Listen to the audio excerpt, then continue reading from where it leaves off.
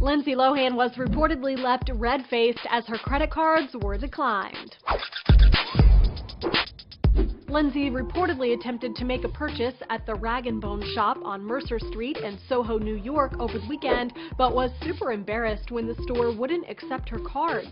A source told the New York Post newspaper, quote, Lindsay was trying to buy something for around $300, but her credit cards were declined. She looked really embarrassed and tried to negotiate before her friend finally stepped in and paid.